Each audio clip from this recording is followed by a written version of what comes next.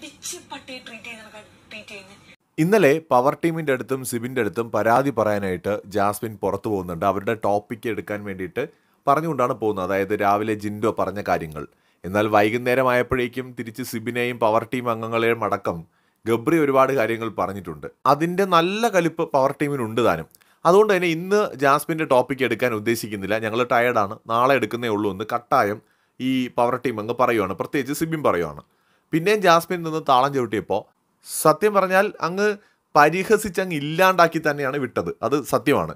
മാത്രമല്ല അതിന് അവരുടേതായ ന്യായങ്ങളും പവർ ടീമിനുണ്ട് കാരണം ഗബ്രീൻ ജാസ്മിനും അത്രയും പ്രൊവോക്ക് ചെയ്യുന്ന ആൾക്കാരാണ് ഇവരും. അതായത് ഇവർ പാവങ്ങളല്ലല്ലോ. ഇവരും മിണ്ടാതെ ഒരിടത്ത് ഒതുങ്ങിക്കൂടുന്ന ആൾക്കാരല്ല. അങ്ങോട്ട് എന്തെന്ന് ചോദിച്ചാൽ കുന്തെന്ന് പറയുന്ന ടൈപ്പ് ആൾക്കാരാണ്. ഇവരിങ്ങോട്ടും പ്രൊവോക്ക് ചെയ്യും തിരിച്ച് അങ്ങോട്ടും പ്രൊവോക്ക് ചെയ്യും. അപ്പം അതിന്റെ ഇന്റൻസിറ്റി മാത്രമേ മാറുന്നുള്ളൂ. പ്രവോക്കിങ് രണ്ട് കൂട്ടരും അങ്ങോട്ടും ഇങ്ങോട്ടും ചെയ്യുന്നുണ്ട്. ഇപ്പം എനിക്ക് തോന്നുന്നു ജാസ്മിനെ പിടിച്ചുലയ്ക്കുന്ന തരത്തിൽ അല്ലെങ്കിൽ അവരെ ബ്രേക്ക് ചെയ്യാൻ പറ്റുന്ന ഒരാളാണ് സിബിൻ എന്ന് ജാസ്മിനും മനസ്സിലായിട്ടുണ്ട്.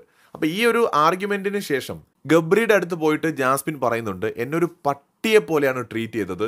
ഒരു കൊടിച്ചി പട്ടിയെ പോലെയാണ് എന്നെ ട്രീറ്റ് ചെയ്തത് എന്നാണ് ജാസ്മിൻ കറക്റ്റായിട്ട് ഗബ്രിയുടെ അടുത്ത് പറയുന്നത്.